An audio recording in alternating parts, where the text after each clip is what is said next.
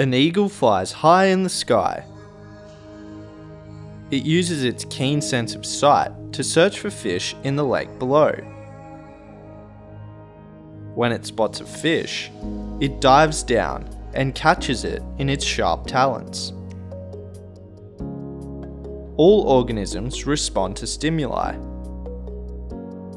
A stimulus is a change or signal in an organism's environment that the organism can recognize and react to. In the case of the eagle, the stimulus was spotting the fish in the water.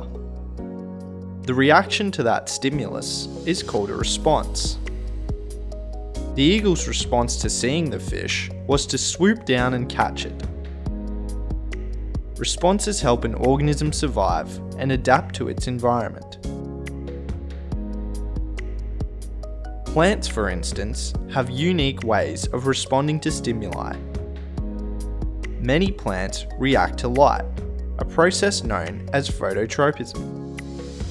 Sunflower plants turn their heads to follow the sun across the sky, soaking up as much sunlight as possible for photosynthesis. Another type of response in plants is towards gravity, a process known as geotropism. This response guides roots to grow downwards into the soil and stems upwards towards the sky. An interesting example of plant response to stimulus is the Venus flytrap. This carnivorous plant closes its leaves when an insect lands on them, capturing its prey for digestion. Animals also exhibit a wide array of response to stimuli.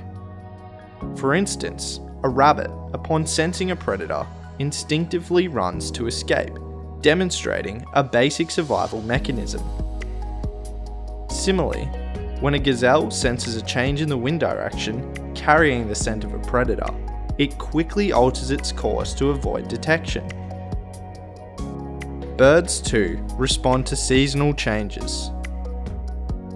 As winter approaches, many species migrate to warmer regions, ensuring their survival during harsh weather conditions.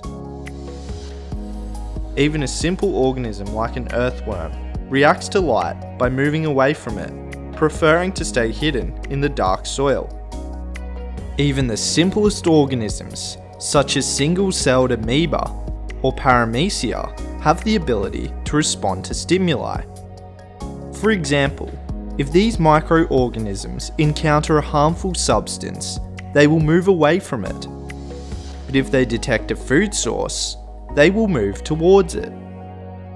These examples demonstrate that the capacity to respond to stimuli is an essential characteristic of all organisms, helping them interact with their environment, adapt to changes, and ensure their survival.